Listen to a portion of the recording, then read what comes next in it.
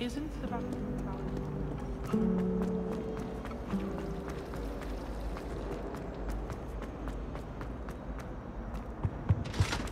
That Shouldn't was there be it. Aurors or someone from the ministry guarding the school after the incident in Hogsmeade? Professor Black would never allow that.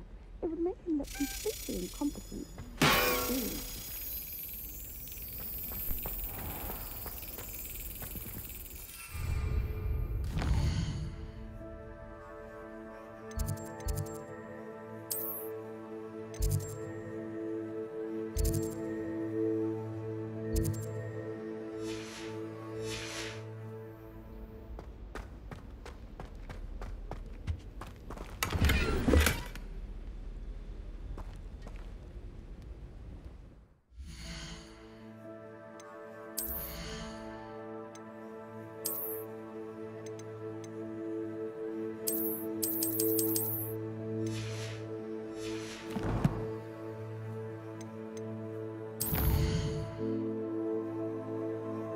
Really.